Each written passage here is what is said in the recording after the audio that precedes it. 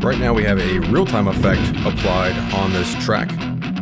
And actually have the EQ set up here to have a nice radio effect.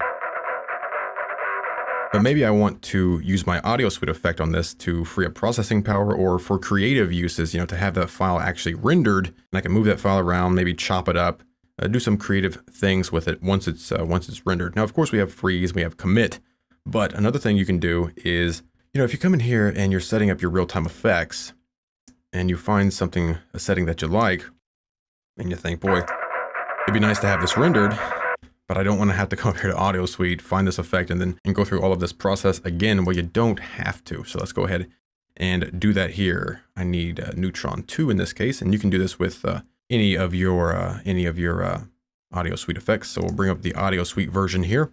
Okay, so here's our Audio Suite version. Just listen to the file there. Of course, I don't want to have to redo everything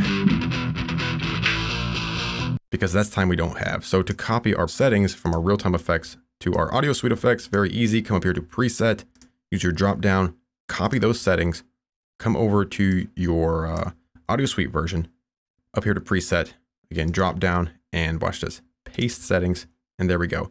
Now these two are identical, even across the compressor or anything else I uh, uh, happen to have open.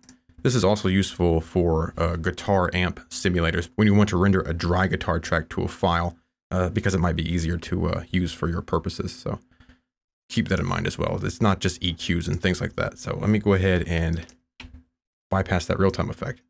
And now we can preview this if we want. Of course, we still have all of our options that I've already mentioned. Individual files we can't overwrite in this case, and clip by clip is fine here.